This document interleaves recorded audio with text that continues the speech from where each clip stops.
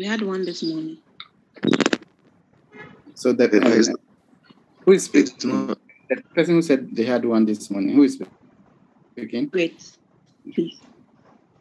Margaret, so how was it? It was good. We were able to solve questions. I mean, we got it was good. She helped us. Okay.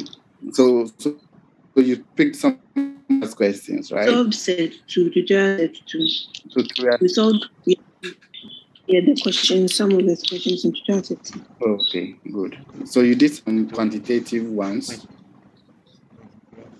You did Yes. questions that involved um, you doing some quantitatives, take, uh, calculating things. Yes, yes, yes. Oh, okay. We And did. you do We yeah, we did CIP. We used the newsletter to find cost of living. We did nominal cost of baskets. Mm, mm. Okay, good. We've not treated inflation, but it's good. It's good you are, you are doing that. Yes, we did it. Yeah, yeah, that's very good. Okay, so so please, guys, take the areas um, seriously.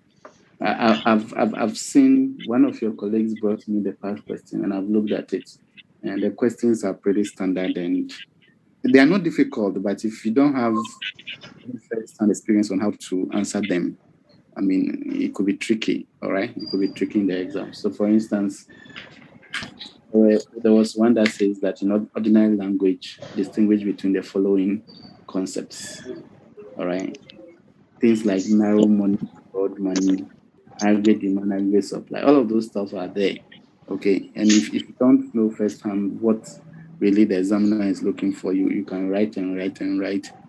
Okay, so so I urge all of you to take the tutorial seriously. All right, take the tutorial seriously so that the exam is difficult for you to all those questions. Okay. Right. Okay. So now let me try and put some sanity here and then go straight to what we want to do today. Today we want to look at the ISLM model. All right. We want to look at the ISLM model. So more or less what you are trying to do is, you know, we did fiscal policy. All right. We did fiscal policy. We wanted to look at how GNT is altered to affect economic variables. And we also looked, we also did monetary policy. We want to see how money supply affects um, um, um, real issues. Okay. So now the question is what we are going to do today, pretty, is to put to put the we are going to combine two markets the goods market and the money market. We are going to combine the two. So there's one particular curve called the IS curve that interprets or summarizes what happens in the goods market. And then this is called an LM curve, okay? Okay, liquidity preference curve, okay? That one also helps us to know what happens in the money market, and we'll bring the two together. The, the, the trick about this particular topic is that um, you need to be careful how you do your analysis. Otherwise, in your mind, you may think you are right, but your answer is really, really wrong. All right, it's really, really, really wrong.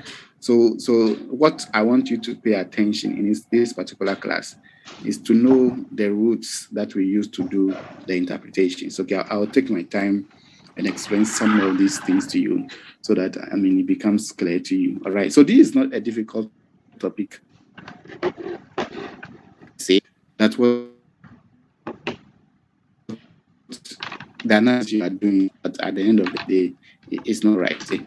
All right. So so so um, I'll, I'll, try and move as slow as I can, um, and but we'll, finish. We'll definitely finish the seven slides so that I have it. We'll finish it.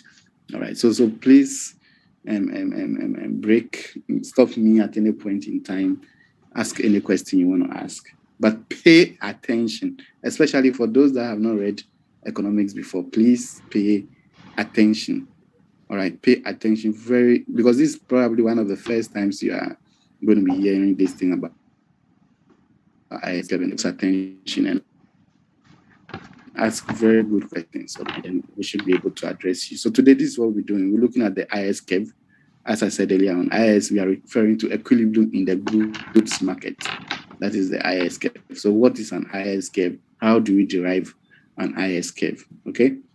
then there's the LM curve, which is money market equilibrium, equilibrium in the money market. What is this LM curve? How do we derive it? Then we'll go into policy analysis issues with the ISLM curve. All right. Okay, we'll use the framework to do some policy analysis. So let's start straight with this thing called an IS, an IS curve. Okay. So don't forget the IS is simply investment and savings. Okay. So an investment saving curve denotes equilibria in the goods market. So when we say equilibria in the goods, you will see very shortly why it is called equilibria in the good markets. It's simply because points on every point on an IS curve denotes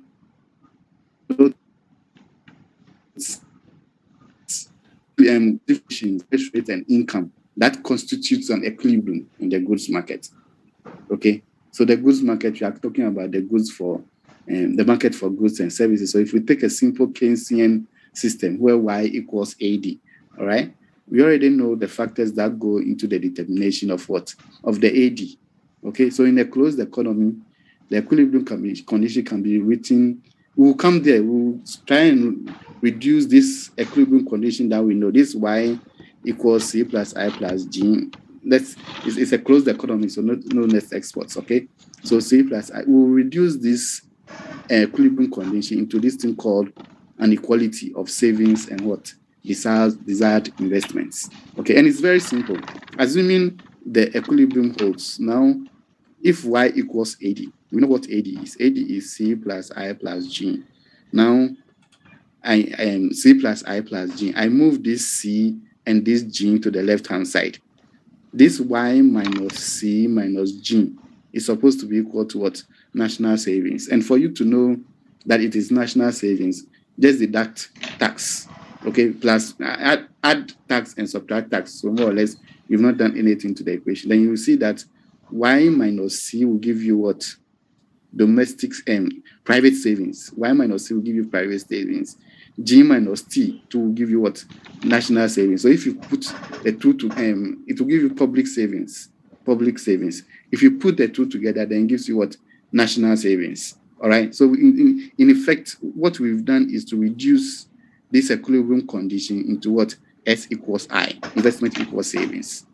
Okay, so that's just equilibrium in the goods market. So equilibrium in the goods market can be written in two forms, either Y equals AD or I equals S, investment equals savings. I hope it is it's, it's not too difficult to see how you can convert this particular equilibrium equation equals I equals a S. Is it difficult? So basically, it's just rearranging this particular equation. So y equals c plus i plus g. I move c and g. I move c and g to the left-hand side. And I'm saying that this y minus c minus g is equal to what? National savings. Y minus c minus g is equal to what? National savings we can get both private savings and public savings from it. Public savings is just the excess of tax revenues over what government expenditure. But if you don't even understand all those things, all you need to know is that y minus c minus g can be equated to what? It can be equated to national savings. Just a minute.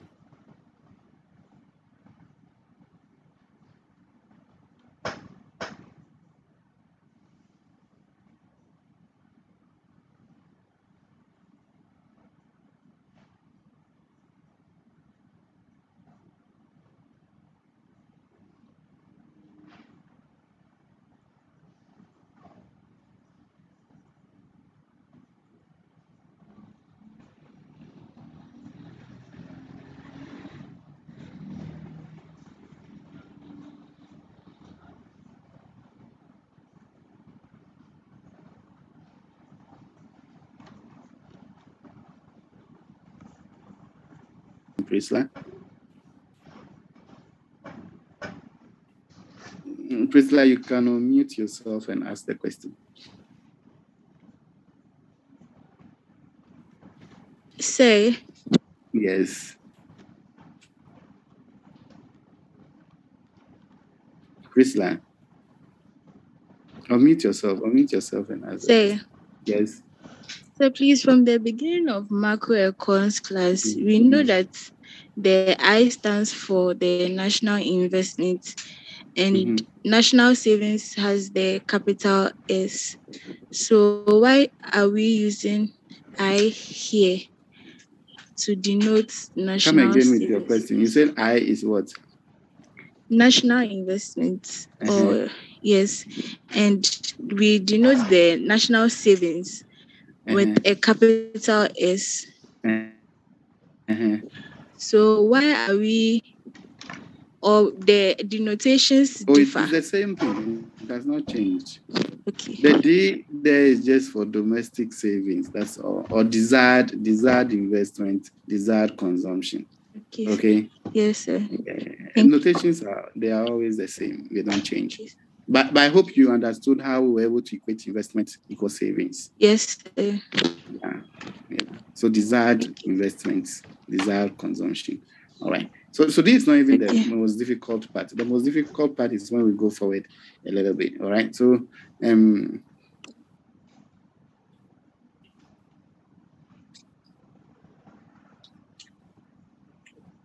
okay. So Rebecca typed something. I'm trying to understand what she typed, but I don't really understand. Oh, she's asking if much has been said. Oh, we've just started, okay, Rebecca. So don't worry. Okay. So so now, um, um, um, um I didn't, I can't remember t- teaching you about this theory of consumption. Yes, Destiny. You can unmute yourself and ask the question. Sir, please, can we go back to the last slide? You said you add taxes and subtract taxes. Mhm. But Just to show, just to show the component of um, um, um, um, public public savings. You know, this. Yeah, but okay. Yes. So what you expect? There will be minus taxes left because the positive one will. No, no, no, no. There will not be minus taxes. It will enter this Y and to come as disposable income. So the disposable income will be um, So the income minus disposable 10% income less consumption will give me the private savings. Yes. And then the T less G will give me national and public savings. So there's Yes. private savings and public savings. The two gives me what? National savings. So, so where is the other minus? That is what has entered the Y to give me disposable income. Okay. Uh, okay. Okay. Yeah, yeah, Okay. Yeah. All right. Okay. So so so we can reduce this um, y equals ad equation into this i equals s, and and and and and and it makes things pretty much easy for us. Okay. Now now let's move on. Um, we knew a little bit about savings. We said that um, if interest rates are high, then you, the, you are more likely to save now. And so more or less you are postponing current consumption. All right. You are postponing current consumption so that you can do what? You can save a little bit more. All right. So so from consumption theory, I mean there is this theory on consumption. I know we've not gone into details, but what we really need from that particular consumption theory is that consumption should be negatively related to real interest rates and positively related to disposable income. Pos- the positive relationship with disposable income, we've seen that already from the consumption function. Okay. But the negative relationship with real interest rate, we've not seen it. But the reason why when interest rates goes up, you consume less simply is based on the fact that income is either consumed or done what or saved. You either consume or save. So if interest rates are going up, you the, the incentive to save more is there. And if you are saving more, then you are doing what? You are consuming less. So an, an increase in real interest rate increases the opportunity, the opportunity to um, to postpone current consumption. Okay, as interest rate goes up, you postpone current consumption. So consumption, there's a negative relationship between interest rates and what and consumption. All right, negative relationship. Yes, yes. Um, national savings is equal to total aggregate savings. That's correct. All right. Okay. So, so I hope you've understood this relationship between because it's going to help us. This relationship between consumption and real interest rate. Okay, it's going to help us as as we go forward. Okay. All right. So so so whenever there is an increase in your income, you, you save more. When there's an increase in your interest rate, you also do what? You save more. All right. So recall also that the desired investment is negatively related to real interest rate. Yes. Okay. If interest rate goes up, the cost of the cost of doing business also does what goes up. The opportunity cost of capital is high. So you do what you wait and invest later. All right. So an increase in the real in, so there's in, in, in effect what we are saying is that there's a negative relationship between interest rates and investment. There's a negative relationship between interest rate and investment. There's a negative relationship between consumption and interest rate, but there's a positive relationship between what savings and what interest rates. All right. In effect, that is what we are trying to say. Okay. All right. So now, now let's let's move on to how we derive the IS curve. Okay. So yes, Into. You can unmute yourself and ask. Okay, sir. Yeah. Answer, please. Uh, with the consumption that is, I mean, negative, inversely relating to the real interest rate. Why is it not negatively related to the nominal interest rate, but real interest rate? We'll come there later on. All right. But mostly in economics, when we are study, we are talking about our issues, we use real values, not nominal values. Okay. And we'll come there when we are dealing with inflation, you tend to understand why that is important. All right. Inflation can really change the picture. And all of a sudden, when you're relying on nominal values, the picture tends to be quite deceiving. All right. So that is prefer to use the real interest rate. Okay. All right, so now let's come to deriving this so-called IIS curve. So in effect, what we are saying is this. We can decide to rely on y equals AD to derive a particular point. Okay, a particular equilibrium point. I don't want to refer to the IIS curve yet. And we so we, instead of relying on y equals AD to find an equilibrium income, we can also use what I equals savings to get that same equilibrium income, right? Is that clear? Let me hear from you guys. Is it clear? Yes, sir. Yes, sir. Good. Yes, sir. Yes, please. Yes, Okay, so now now let's go let's go here. Let's come here. All right. Sir, please So- go over. Okay. Who, who is the one speaking now? Matilda, sir, please go over. Yeah, Matilda, what do you want me to go over? Sir, please go over. What Which one? you just said? Okay, what I'm saying is that we, I can rely on y equals AD to get equilibrium income. That's is, is that correct? Matilda, Yes, sir. I can equate y equals to AD and I can solve for equilibrium income. Is that correct? Yes, sir. Okay, I'm, now what I'm saying is that instead of doing y equals AD to get a particular equilibrium income, I can rely on I equals S to get that same equilibrium income. Is that so? Yes, please. Good. So we have this negative relationship that we said. So this is the desired investment. It is negatively related to what? Interest rate. Interest rate is what you see vertically here. And then the desired investment is negatively related. But we said um, savings itself will be what? Positively related. So assuming we are at point one, this particular point, let's call this point one. At this point, the desired investment is, is equal to what? The um, um, savings. Okay, the desired investment is equal to savings. So it's, it is one unique point where equilibrium income can be solved. And that particular unique point is it, it identifies one particular point on the IS curve. Don't forget the IS curve. Every point, okay, so what I should have said earlier on is that every point on this IS curve, any point at all, is a particular point where there is an equilibrium in the goods market. Okay, it's a particular point of equilibrium in the goods market. So just like at this particular point, desired investment is equal to savings, but it, identifies just one particular point on the IS curve. So assuming, look at what has happened. Look at the green line. Here, there was an increase in, in, in income. And we know when income increases, people do what? Save a lot more. Okay, they save a lot more. But it comes with what?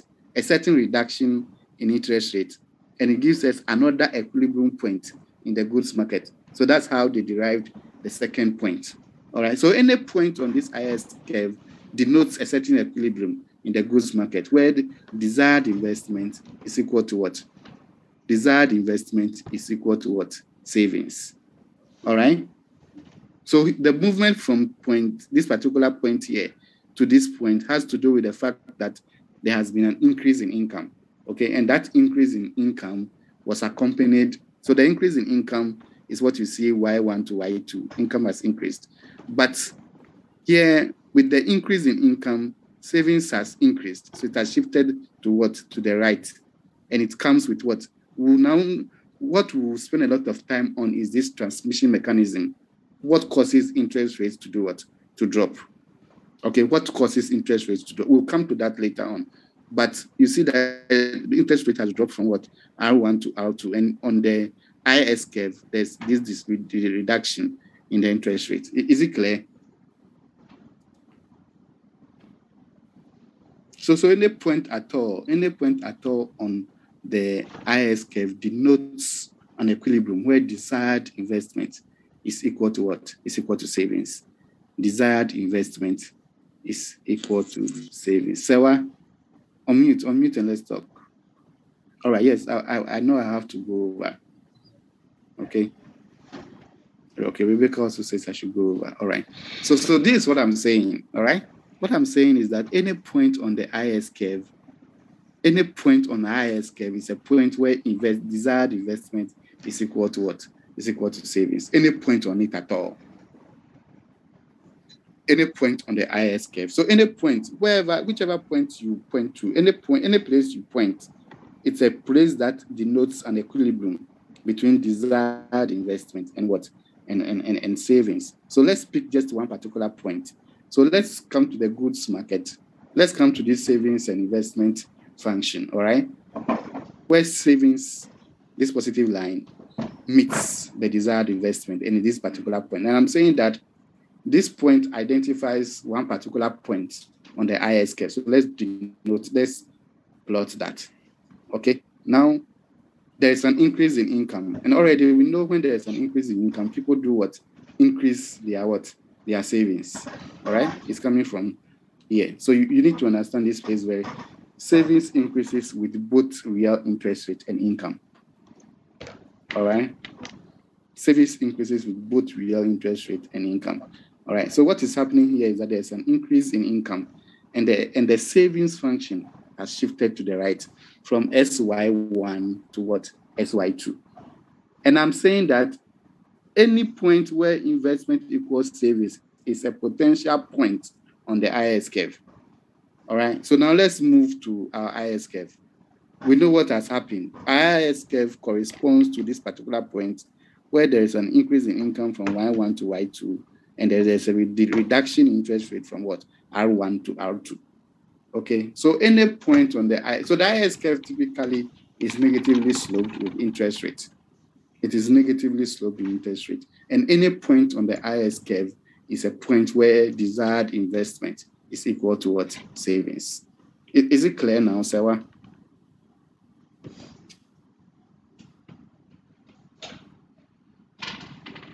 Yes, is it clear now? Okay, good. Yes, Teresa, unmute, unmute and let's talk. I've managed to convince her. Sir, please, did you say um, that interest and savings they have a positive relation? Yes. So the IS the no. So savings increases with both real interest rate and income. All right. Okay. So which one? Which one are you referring to? So I'm confused somewhere. You said previously, you said um, interest and savings, they have positive relation. Yes. So per, per the diagram, which one is is the interest? See The R is is the No, R is the income? to take your time. R is, is income. We were initially here, and I told you that here there was an increase in income. Okay. Do you Yes, understand? sir. There was an increase in was this in income that shifted the savings function to the right. Do you understand up to that point? Yes, sir. Good. So now the increase in, in, in, in the increase in income is what has shifted the um, um, um, um, savings function to the right. Maybe maybe hold on. Let's continue a little bit. Let's continue a little bit, and maybe you understand. Okay. Sir.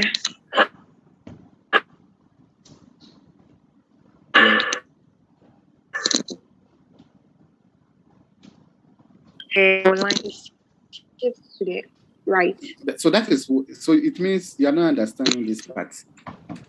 All right. What you are not understanding is here. Savings increases with both real interest rate and income. What that means is that if there's an in- increase in income, Recording increase. stopped. When there's an increase in the real interest rate, savings also increase. Is that clear? Yes, sir. Good. Now let's look at consumption. When there is an increase in income, you consume more, right? Yes, sir. When there's an increase in um, real interest rate, you consume more, or you consume less. Consume less. Good. Sir, Now I'm telling you also that there's a negative relationship between interest rate and investment. Okay. Okay. Yes. Good. So right now, let's come here. If there is an increase in income, you save more or you save less. We save more. Okay, so that is why the um, um, savings function has shifted to the right. Okay, Okay. and if we trace the new equilibrium, the new equilibrium comes with what? An increase in income and a reduction in interest rate.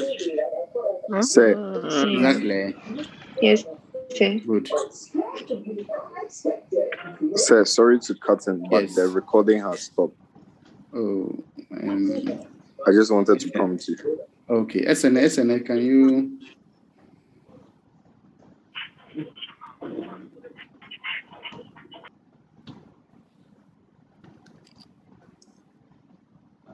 Okay, don't worry. I, I will deal with that part. Okay. I the, the lady recording the thing has been logged out. Yeah. Okay. Um, please, with, the um, the access that R is why is um R1 on top of Initially, R2? we were So here, is and there was an increase in income, and the savings function shifted. So we, we came here. Don't look at the numbers. So it's just to denote. It's, So don't is look um, at it in terms of how we come to the numbers. Initially, we were here one. This two is new. Don't look at it like this is zero. So this should have been one and two. Okay. Uh-huh. Good. All right. This is what I want us to talk about. Maybe this should help you to understand more. So, how changes in GDP affect the savings market? Don't forget that there's a negative relationship between income and interest rate. So here is it. Here is the there's an increase in income. People are saving more. Okay, there's an increase in income. People, there's a pressure on what savings. Ideally, what will happen in the um, um, if if you are a bank and a lot more people I mean, yes who is speaking that. there is that so if you are a bank and a a lot of people uh, are, are bringing their money to save with you what, in, in, in- what would you In terms you of a interest bank oh, and a lot of people are uh, bringing their money simply because your interest rate is high It's high enough but you, you are getting too much money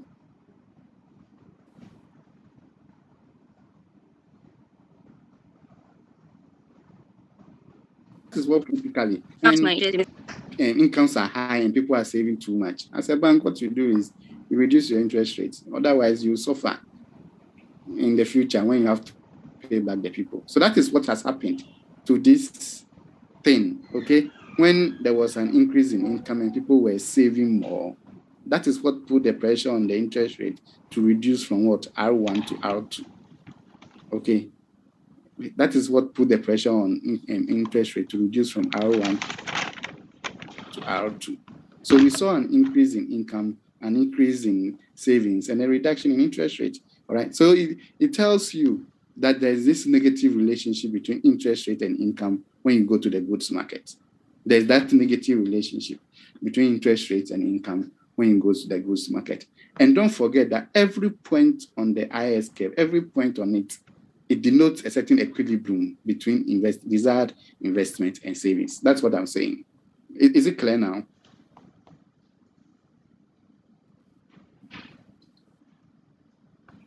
All right. So, so let me just assume it's clear. Please, it has to be clear oh, because this topic, if this yes. is the first time you are hearing it, Sir.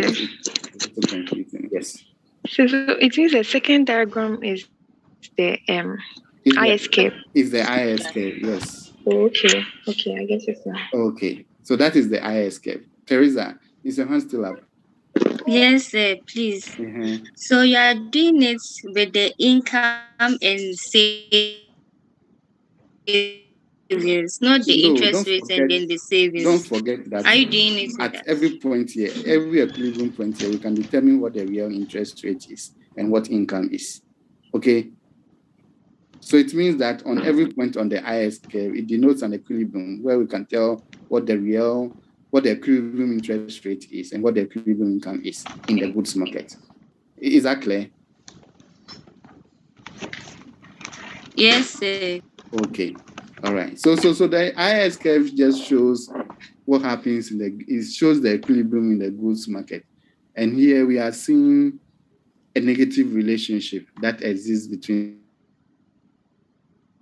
so this is the IS curve, IS curve telling you that on every point on the IS curve, investment equals savings. Is that correct? Yes, um, Frederica.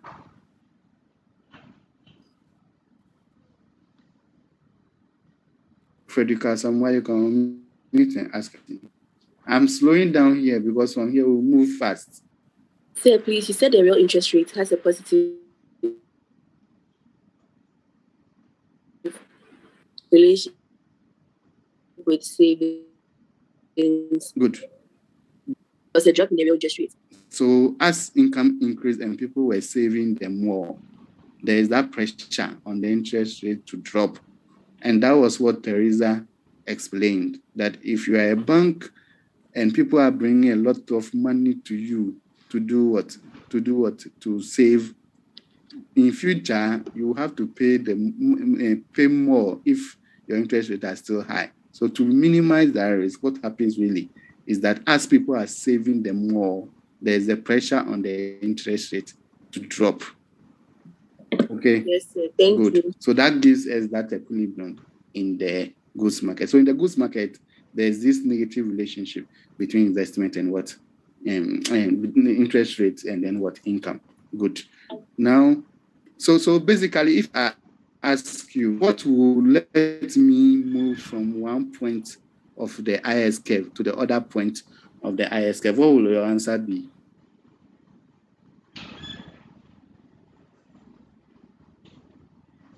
What will let me move from this to answer the question properly? When there is an increase in savings. Uh, um, increase in income. increase in income. Okay. So the only thing that will cause you to move along this curve, either up or down, is an increase in income. What will cause the curve to bodily shift either to the right or to the left? That's the next thing we will do. Okay. That's the next thing we will do. All right. Okay. I, I hope you can see it clearly because I've seen it as one of the past questions. That's why I've I've deliberately asked you people. Me too, I'm, I'm looking through the past questions to make sure we are all on the same page. Okay. I hope you understand. Yes. Good.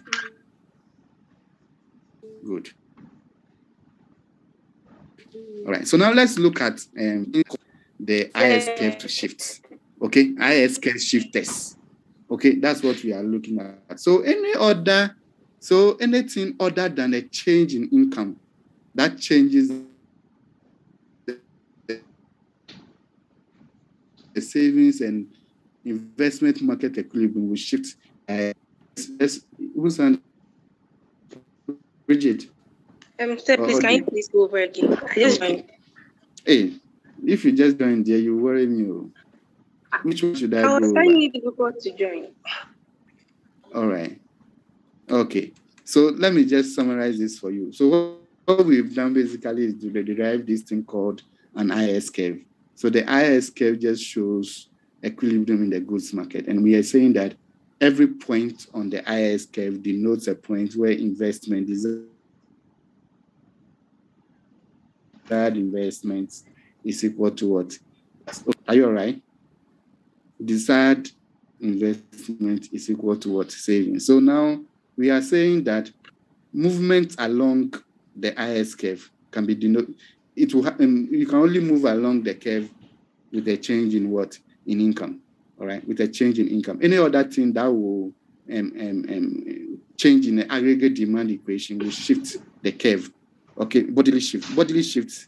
When we say bodily shift, then this thing is shifting to the right like that, or to the right like that, or to the left. That is bodily shifts. Okay. When- Whenever we talk of bodily shift, the curve moving to the right or moving to the left. Okay. All right. Now, the question is what are the factors that can cause the curve to shift either to the right or to the left? Okay. And then the question, the answer is very simple. Oh, okay. So all, all those um, um, um, uh, autonomous things in the AD function can shift it. But but for now, let's focus just on the conduct of um, um, fiscal policy. You know, monetary policy does not come in here at all because we are not talking about the money market. What we are talking about is what is the goods market.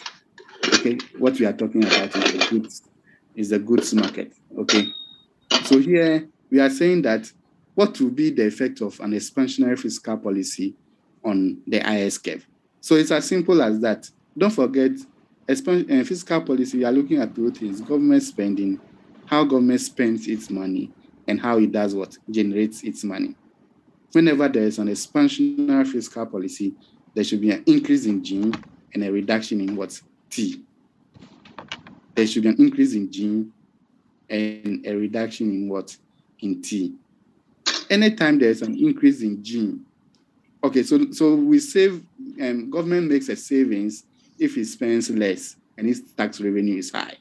So whenever there's an increase in G, there's a decrease in what? National savings. Whenever there's an increase in G, there's a decrease in national savings. Okay, all right. So now equilibrium interest rate rises. So whenever there is an increase in G, okay, maybe the curve. All right. So when whenever there's an increase in G, okay, we are saying that whenever there's an increase in G, there should be what? A reduction in national savings. So the IS curve should do what? Shift to what? So the IS curve should shift to the left. So whenever the IM, um, not the IS curve, the savings curve, whenever the savings curve decreases, it is shifting to the left. When it increases, it is shifting to what? To the right. Okay. Whenever the savings curve decreases, it is shifting to the left. When it is increasing, it is shifting to what? To the right. Yes, Frederica. Say by um, say you said when government spending increases, national savings decreases. So na- national savings is just taxes minus government spending. Okay. Taxes are the revenues that the government generates. Okay. Okay, so, so public savings is the same as national savings. So no, so national savings equals both private savings and public savings. But we if we, we can assume private savings to be constant here because whenever we are undertaking fiscal policy, what we touch is government spending and what tax revenue. Yes, Okay, please. Thank good. you. All right. So because we are and are taking fiscal policy, that's why we are focusing so much on what public savings, and we are calling it national savings because we are holding constant private savings. All right. So now, whenever when government spending is just equals to a tax, so the country is making any savings. But when the taxes are greater than government spending, then there, are, there is a positive national savings. Whenever G is also bigger than T, then you're not making the, there's a national saving. All right. So here we are looking at a situation where there's an increase in G. Okay. We are saying that whenever there's an increase in G, savings reduces, national savings reduces, and that's pretty clear. All right. And that is what we see on the next curve. Okay, that is what we see on the next curve. The um, um, savings function shifting to the left. Okay, savings function savings to the left. If we were to hold on to the same level of income, realize that there's a bodily shift up. Okay, there's a bodily shift of the IS to the right. It moves up. Okay, it moves up. So here, what we are saying is this: if there is an expansion fiscal policy, the IS curve shifts to what? The right. Whenever there is a contractionary fiscal policy, the curve shifts to what? The left. Is it clear? I, I've just decided to slow down here because as for this topic, it's not difficult, but you can get the um, um, transmission wrong. Okay, so that's why I've taken my time to slow things down here. Um, so, please, um, the Y one, what does? The Y one is just income one. So if we fix income at the same level, okay, so if income is held at the same level and government does its expansionary fiscal policy, what we see is that bodily shift of the IS curve. Okay. Okay. Good.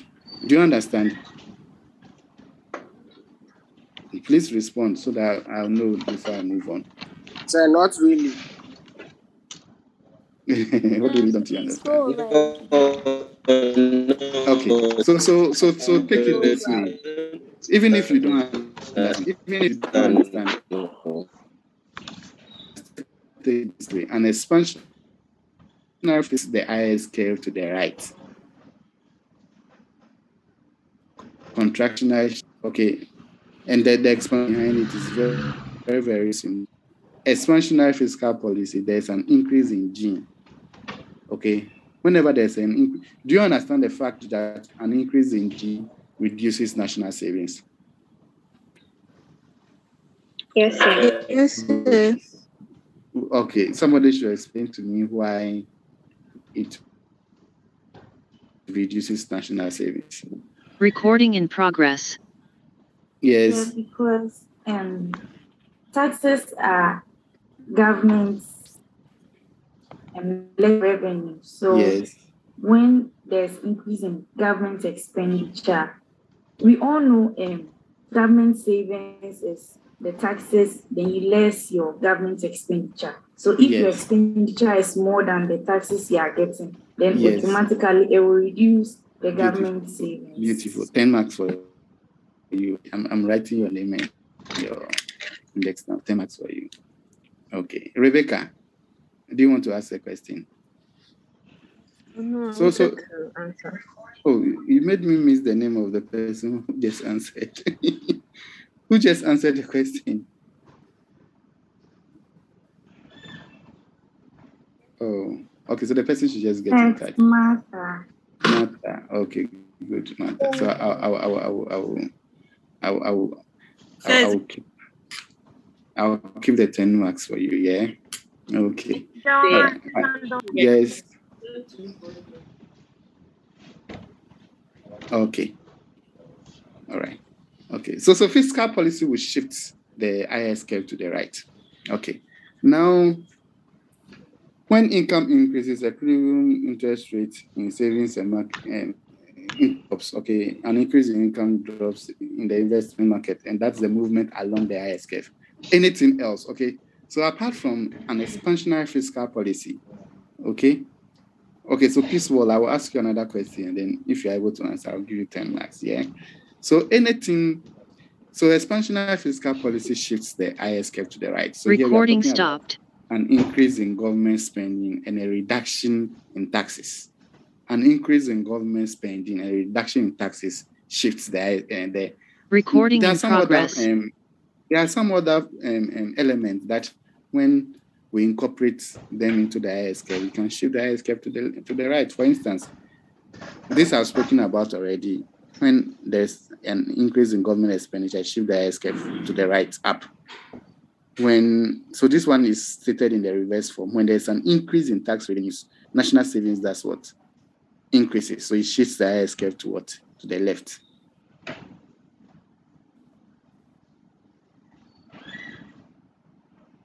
Okay.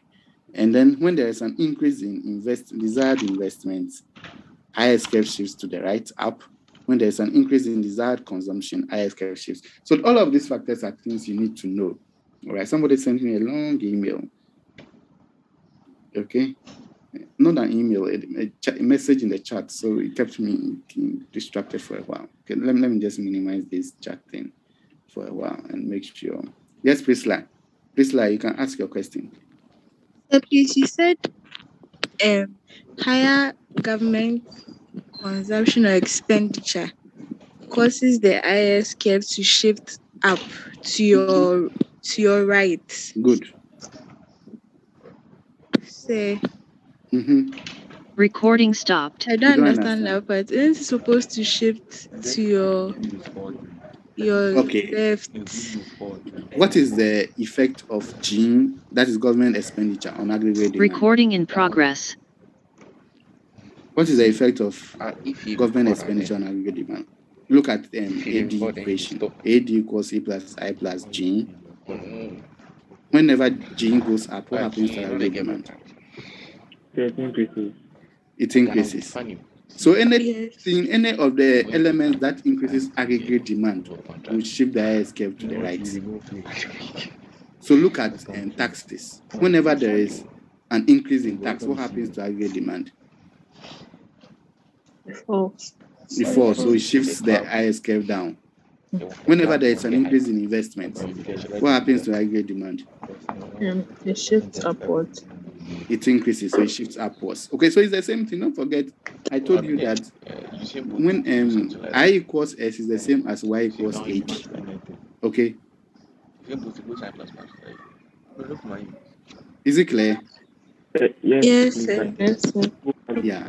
So any of the factors that shift the AD upwards will shift the IS curve up. Okay. Um, just please, can you go back to the scale? Because I have a question. You check. Yeah.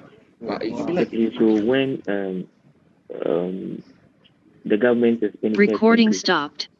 that means um, the curve moves to the left. Exactly. Okay, okay, With fixed income, there's a bodily shift in the IS curve. okay. Good. Mm. I urge you, I urge you to be looking at the past questions, okay, so that it makes your learning take shape. Okay. So I, I intentionally took my time simply because of the type of questions I saw in the past question. All right. Because of the type of questions I saw in the past. And for your information, even before we go on, for your information, your IA is on the 30th of this October. Okay, it will be online 30th of this October from I think from 9, 6 to 10 or thereabouts. Uh, please, I, I, I didn't get what you said. I'm not the saying whole like- day. Recording in It's not the progress. whole day. It's not the whole day. You have just about two or something hours to do the IA. Okay. So please, So that's how this time it. around, no excuse that I So what didn't is do. Sakai jump? So which means I can jump. Yeah. at the same It time. will jump. It will jump. Because it, it's it's might it might jump. It will not jump. It will not jump. Yeah, This is to University of Ghana. It Yeah, will not jump. Oh, it says Yeah, that is why Say, everything is ah, we are possible. billy. The last Yeah, time- please, we Tell you beg. wrote a lot of beg. before I jumped. 12 hours. Say, like, So Okay, at least don't- 12 hours we will do. Don't worry, we won't do 12 hours so that people will copy. We won't do it. So what we will do is this: we, we, we, you, your your eye is on on the 30th of October. Prepare very well and make sure you do well. Okay, so that's why I've been worried about ma- making sure that you people attend your tutorials and then also making sure that um, um, I have an idea of what the past questions are. This one will be multiple choice. Recording okay? stopped. Okay, it will be multiple choice. So make sure make sure you're able to cover it. Okay, so it will be the areas is from what- wherever we started from to wherever we will end by the 30th of October. Okay, so by 30th of October, I think we will have covered a couple of things. Okay, all right. So now let's move on. We've done the goods market. Too. We are now moving to the money market. So the ISK describes the goods market. Okay, it describes the goods market. Recording in progress.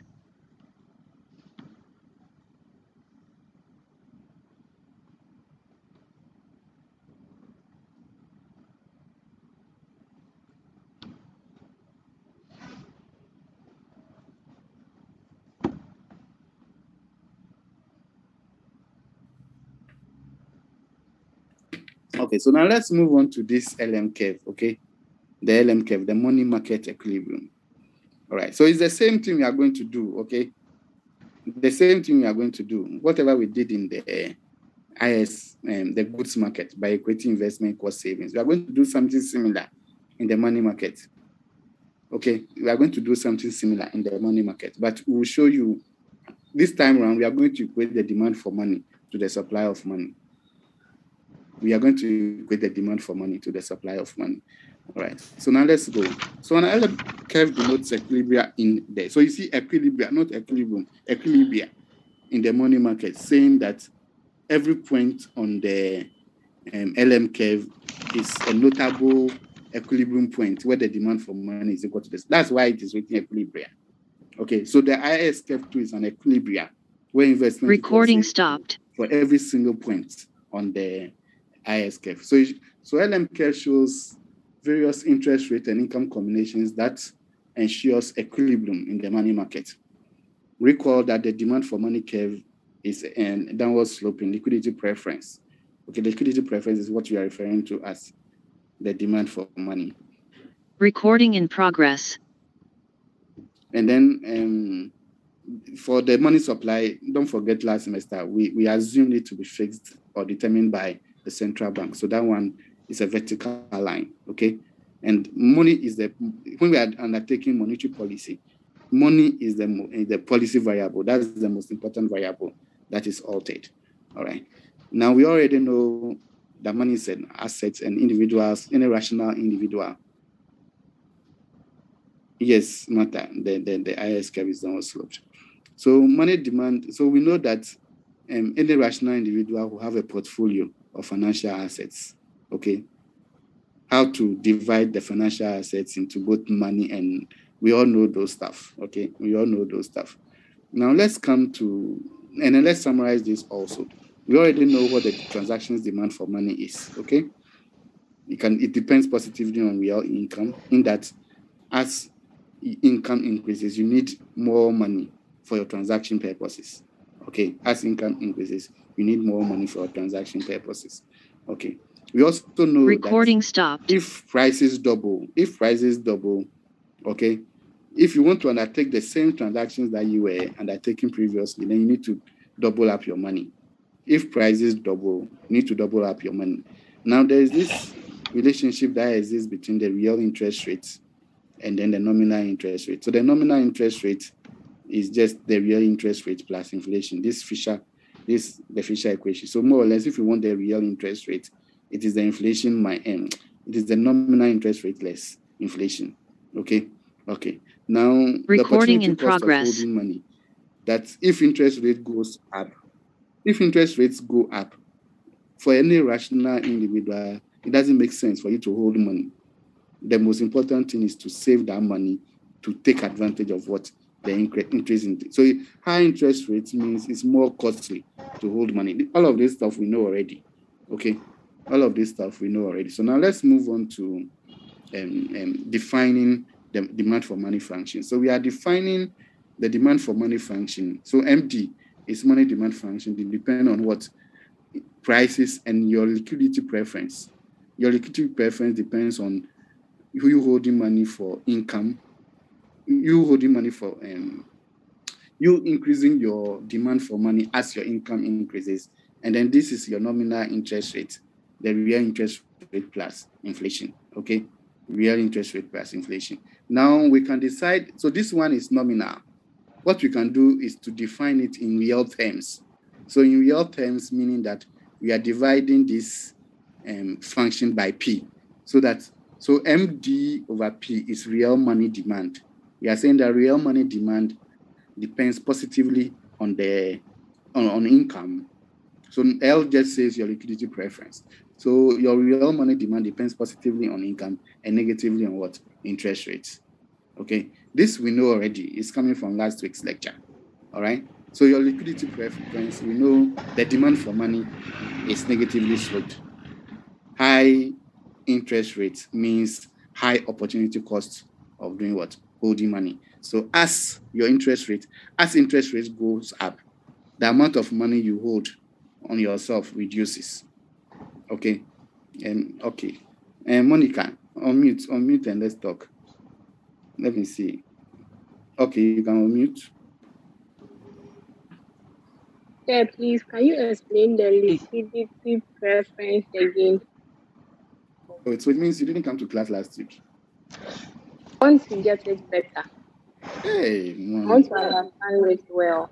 Okay. So so so it's just the demand for money, all right? Okay. So the demand for money, we are saying that the demand for money is a function of income and interest rate. That is all we are saying. And I'm saying that this is defined in nominal terms. So MD is nominal demand for money. To get the real demand for money, I divide through the equation by what? P. Divide this place by P, divide this place by P. So we say that the real demand for money is a function of what? Income and interest rate. We are not saying anything new. Last semester we spoke about, or and last week we, we described this. Okay, we described this. So in, in effect, what we are saying is this: as income increases, you hold more money to to for uh, your demand for money also increases. Recording stopped. All other purposes, whether for transactions or precautionary or speculative. But when interest rates are high, it doesn't make sense for you to hold a lot of money when you can earn interest on the money you are holding. So there's a positive relationship between income and the real demand for money, and a negative relationship between interest rate and then a real demand for money. Is that clear? So, so, so in effect, what if we put the two together, then we have this negative relationship that exists between um, um, um, that this negative relationship between interest rate and the real Recording in progress. It's a negative relationship between interest rate and real money demand. Okay, good. So now let's move on a little bit.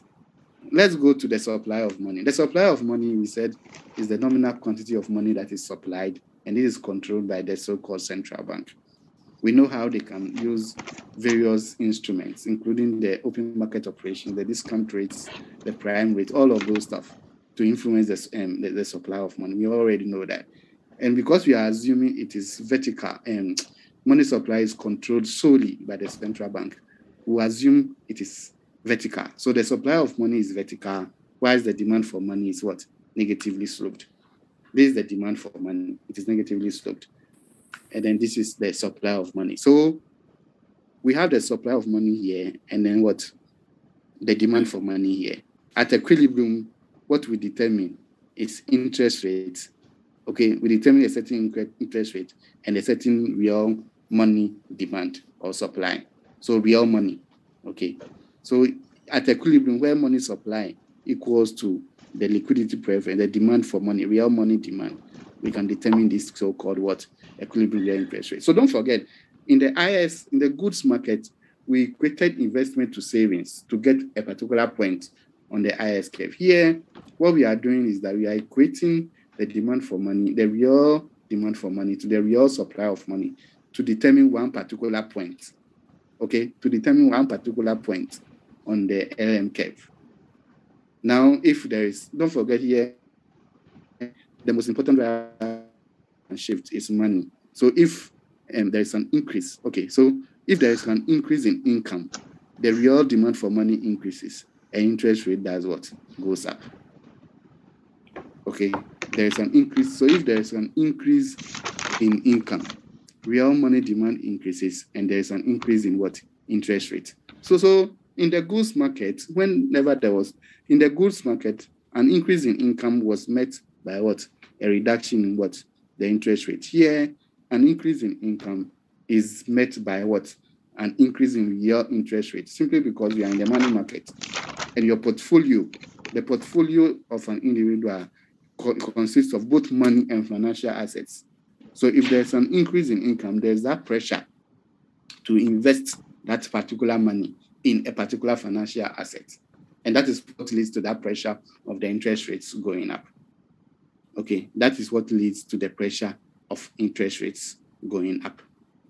All right. So, unlike the goods market where there is a negative relationship between interest rate and income, in the money market, there's a positive relationship between interest rate and income. Okay, there's a positive, and I've, I've allowed you to unmute. So, if you have any questions, please let's shoot. All right. So, in the money market, there's a positive relationship between the real interest rate and real money balance. There's a positive relationship between the real interest rate and the real money balance. Okay, so let me assume Recording we are fine stopped. Okay, so the LM curve shows the equilibrium real interest rates in the real money market for different levels of GDP income. All right, different levels of income. All right, and then the equation for so here what we have here is the, on the, left hand side is your real money supply being equals to what your money demand. Okay, it slopes up because an increase in income increases real money Recording balance. in progress. Then it requires a higher interest rate to restore equilibrium. Okay, it requires a higher interest rate. So R on the vertical axis, Y on the income. So we have a positive LM curve. Okay. Um, okay. Now, okay. So so here the, the, there's some intuition behind the explanation, and the intuition behind the explanation is that when you hold money for maybe transaction purpose, the rate of return is zero.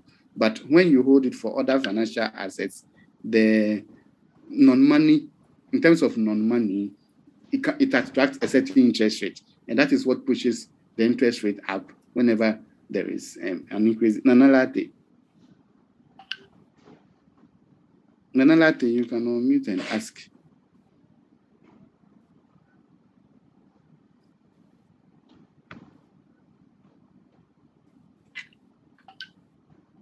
Nana Latte.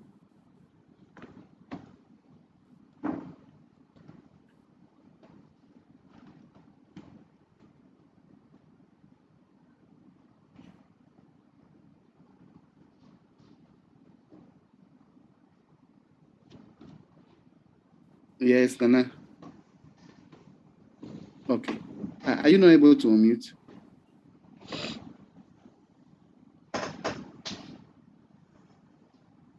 Please stay on the line or call.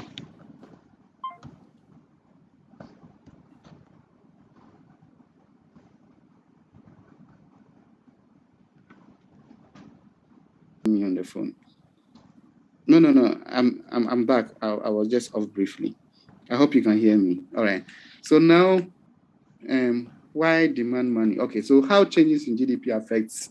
So we saw how an increase in income, you demand money for transactional purposes. So your real money balance goes up and interest rate goes up. So there's this positive relationship between income. Can you hear me? Income and interest rate, and that is the whole intuition behind what happens in the in the in the in, in the money market, and that derives the LM curve for us. So the LM curve shows that positive relationship between interest rates and income. So any other thing than a change in income changes the money market equilibrium. Okay, any other thing Recording stopped. any other thing than a change in income causes all right so here we have an, an example where there's an increase in money supply Recording in it this way. progress. um, in the case of the um, um, the uh, IS the IS market, expansionary fiscal policy shifts the IS curve to the right. Here we have a situation where expansionary monetary policy shifts the LM curve to the right. It shifts the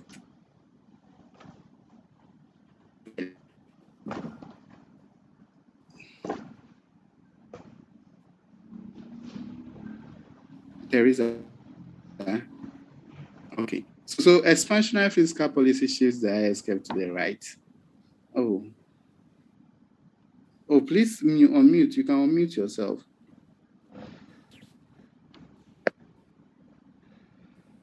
Can you?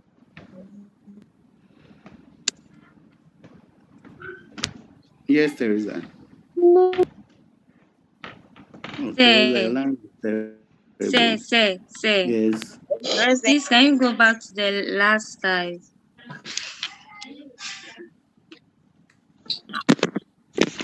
Yes.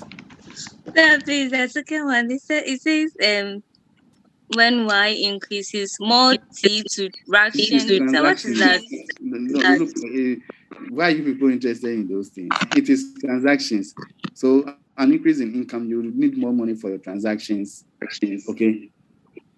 And then And sir, your real please, can you take, goes please, can you slow down a little because I'm not getting it. It's just a typo. No, no, not that one. Like the next one. When you move on to the next one, please can you can you go over and then slow down one? because I'm not getting it. Is it this one or the previous Yes, slide? please. Yes, Just This no, one. this one. Yes, please. Okay. So here, Hey. consider the blue, the blue dot here. The blue dot here shows you one point where the demand for money is equal to the supply of money. And we said that will identify one particular point on the LM curve. Is that correct?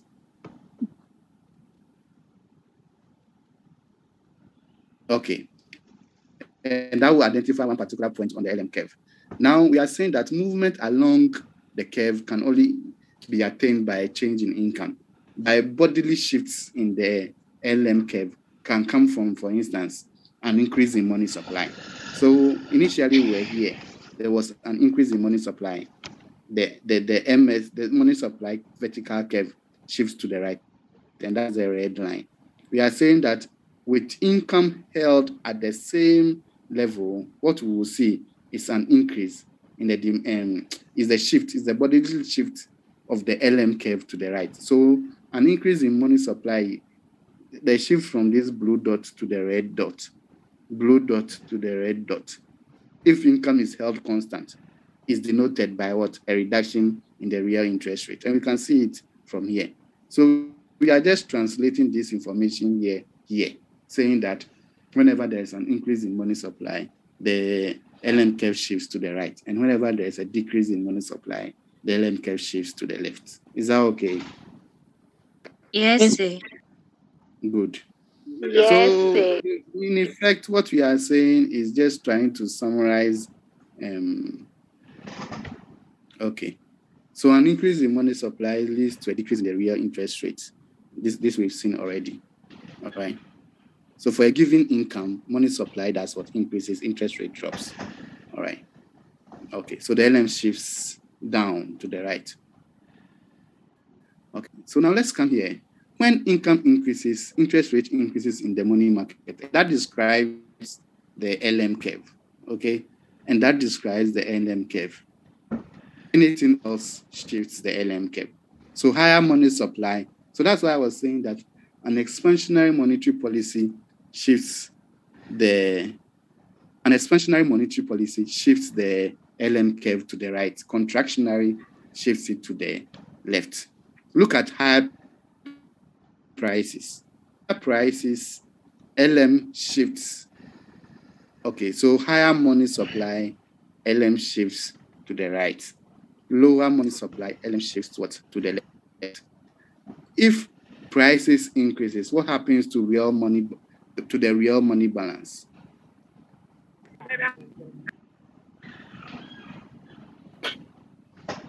Look at real money balance. Let's go back. So real money balance is just over P. Okay, so an increase in, let me try. Oh, I think I've gone too much.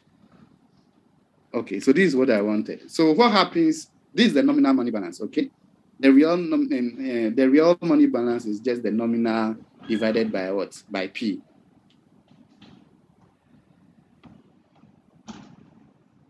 Okay. So Priscilla, I'll answer your question, okay? Um, so, so whenever there's an increase, real money balance reduces. And we already know what the, the effect of a reduction on money supply is on the LM curve. So if prices go up and real money balances drop, we should expect the LM curve to shift to the left. Okay, to shift up. Okay, so that's that's all this slide was trying to um, explain. Yeah, so this is all this slide is trying to explain. Higher money supply, LM shifts. So it tells you one way money supply can increase is when prices reduce. So a reduction in prices means money supply will do what? Real money, this thing will go up. Real money balance will go up and, and LM shifts will shift up. Okay. I, I don't know if it's clear for you. So, so, so, so in effect, an expansionary monetary policy will shift LM curve to the right. Contractionary will shift it to what? To the left. So the same thing can happen when there's a higher price level, LM shifts up. Whenever there's a financial turmoil, that increases the demand for money. Okay, so so so what you should be looking at is for each of the factors, how does each of the factors shift um, either this curve, apart from income, how does any of the factors that we will mention shift either the demand for money or the supply of money? The supply of money can only shift, can only be shifted by what? The central bank. Any other factors that you can think about. So for instance, inflation, it can only affect the demand for money. Um, um, um, so so that, that's the example that is being mentioned here, all right?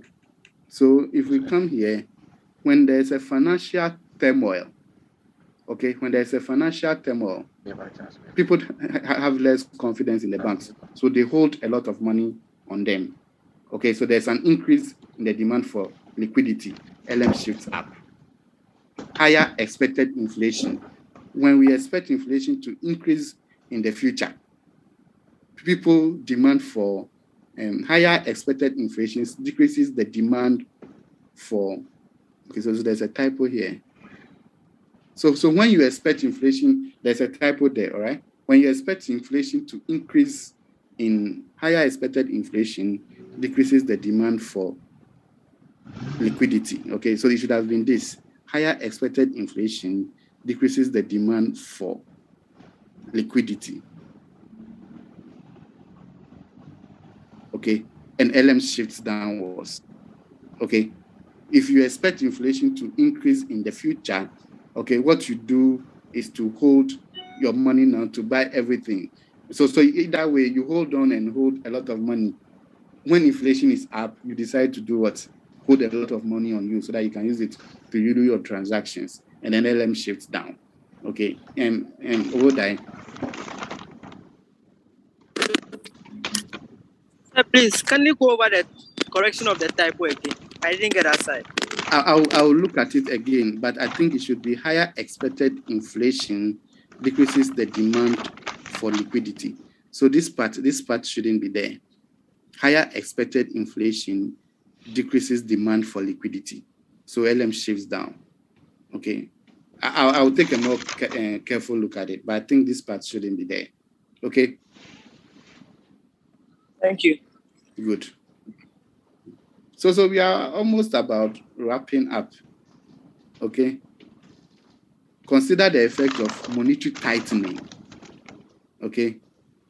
Example, consider the increase in the monetary policy rate from 26% to 25% to 20, 26% in November 2015. The increase in the policy rate decreases, it represents a decrease in money supply. Don't forget, we said that one way, so under the open market operations that we discussed last week, an increase in the policy rate, meaning we are reducing what money supply. So given that, given the price level, real money supply does what? falls and shifts the curve to the left in the money in the money market. Okay, it should be in the money market. There are one or two types of the in the money Recording market. So stopped. LM curve definitely the LM curve would definitely shift to the left. Okay, so so that's what I was saying. That expansionary monetary policy will shift the Recording in right. progress. Contractionary will shift it to the left.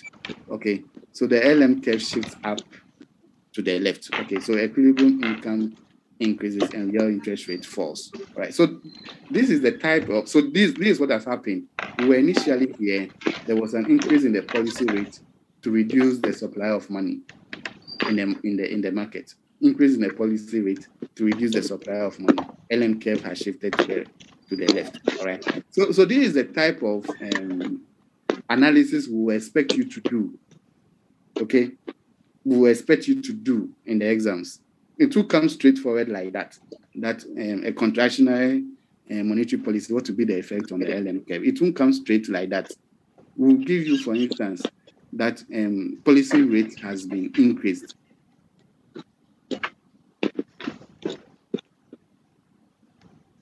Okay. So, so Rebecca, yes, yes, that's what I'm saying. Okay. So, so, so, so this is the type of questions you'll be seeing, you'll be seeing in your exams, in your main exams. It will come straight like Recording stopped. Okay. So it won't come straight like increase in, or in money supply.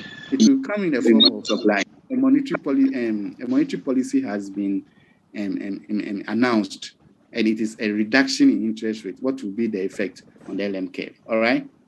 So these are the things you need to take carefully. Oboda, is it the new hand you have raised or is the old hand? Sorry, it was the old one. Okay, all right. So so um basically that's it. That's it for today. I mean it's just ISLM. I, I try to take my time to go through it because especially for those that have not um, um, um, um, um, um, done it before, it can be tricky. So so just take your time. Let, let me allow you to take your time. Yeah, let me allow you to take your time and go through it. It's not difficult. Also, Henry, also, it is not difficult at all. It is just you shouldn't be confused. You should, you should, it's not difficult. You just need to take your time and read through it. Okay, it's not difficult at all. Just that for some of you, maybe maybe new. So so L stands for liquidity preference. M stands for money supply. Okay. Investment equals savings. Investment equals savings. Demand for money is the same as what liquidity preference. And M is standing for what money supply. Okay, yes, accurate. Jude, Jude, you can unmute. Okay, sir, please. Um, you say um, a reduction in the um, money supply or the money rate? I didn't really get it. Come again. Your line is faint. You asked, you asked, uh, what the question won't be framed, as it will be framed in a different way, in a consistent way. And you're giving an example, and you give an Example. example.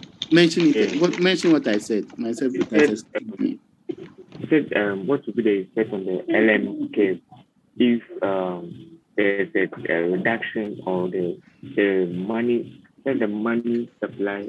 Okay, what I was referring to was this, and I hope I'm correct.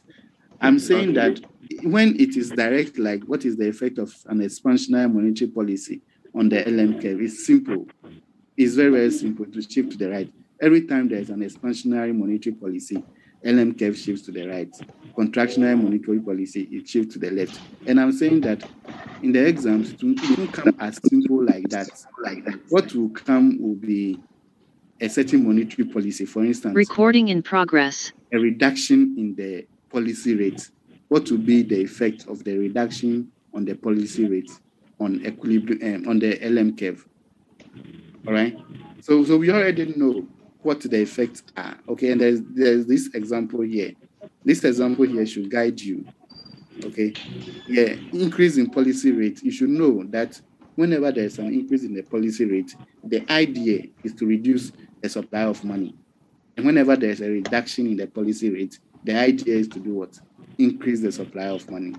And we already know what will happen to the LM curve if there's an increase or a decrease in money supply. So I'm saying that it won't come direct for you to just look at it and just mm, answer it and go. It could be indirect. So you have Recording to take your time stopped. and understand the mechanism. Okay, please.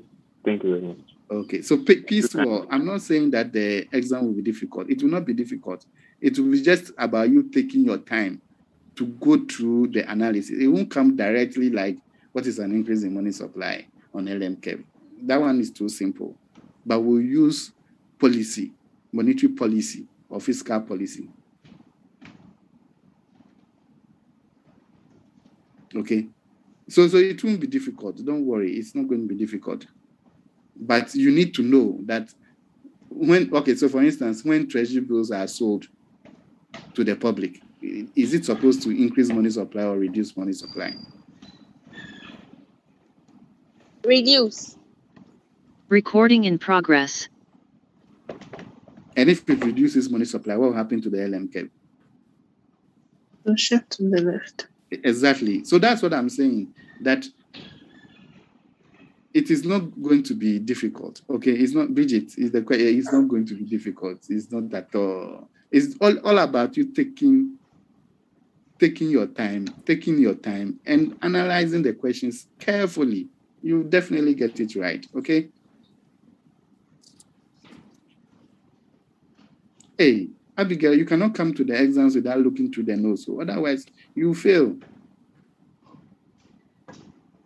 Okay, you cannot come to the exams, Abigail. You cannot come to the exam saying you have not looked through the notes.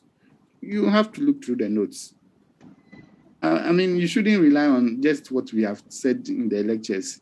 I mean, if you you, you fail, you even forget some of the things we said. Okay. Yeah, but you see, the slides are even The slides are what? they are not enough. Yes, so that's why there's a course outline. On the course outline, we specified the main textbook for you. Okay. Let, let me see if I can share the course outline for you to see. So please, please, it's not difficult. It's just about you taking your time, sitting down and, and going through, going through, going through the notes. Okay. So the main textbook is um Recording stopped. Abel, Bernanke, and mm, so any basic Mankiw and Taylor too is a very any basic macroeconomics book when you pick it, it should be able to help you. You can use Mankiw and Taylor. It's not very difficult to understand. Recording in progress. And nowadays, to some of these things, they are too easy to miss. And just go online, YouTube, the times you have been using to watch all those videos, just go there and ask somebody to explain to you. Just type ISLM equation in YouTube. You'll see a lot of explanations. Yeah? Lowell, Champon. Um, sir, please, can you kindly share the textbook with us? Because I don't have I don't have a soft copy of the textbook. So you check you check from um, um, maybe the library or so. I'm sure the main library should have it. I don't have a soft copy. Otherwise, I'll share. Otherwise, I'll look for. I'll try and see if I can get a soft copy and share it with you. And for those of you asking for the past questions, I'm, I'm not sure where. Um, I'm sure if you go to the business school, you'll get it. Okay. okay, sir, please one more one more thing. Yeah. Yes, please. Um, where for for the purpose of the eye, where are we supposed to learn up to for the purpose of the eye? Yeah, you are supposed to do um, everything we will do up to the point of the 30th. Okay. Okay, sir. I get it now.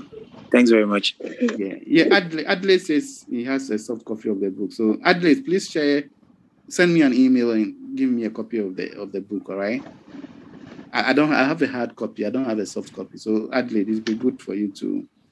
Um, um, um, um, let me see if I can send you my email address so that you send me. Okay, so Adelaide, I've sent you my email address. Just send me an email and then give me a soft copy of the book.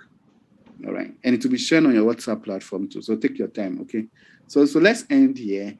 And what I will do is I will allow you, I will allow you to go through the notes. We'll meet on Thursday. First 10 minutes. I'll try and use it to go through it once more.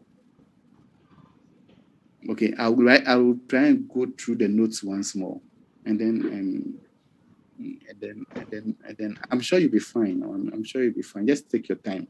All right. One thing I realized in the main exams is that most of you didn't take your time. You were just answering the questions just like that. Take your time. Go slow. Understand the question you are answering. And you realize that you don't have to write half a page.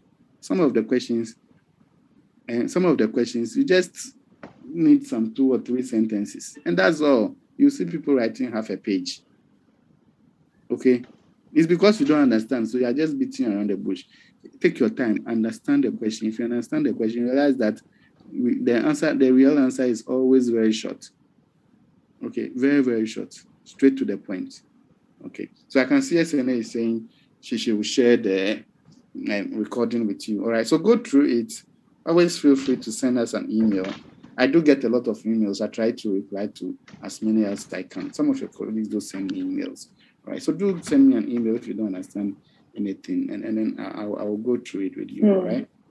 Okay. Say, Yes, Martha.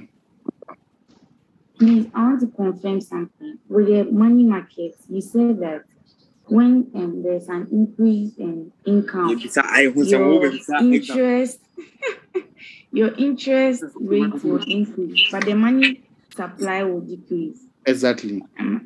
Okay. Yeah. Okay.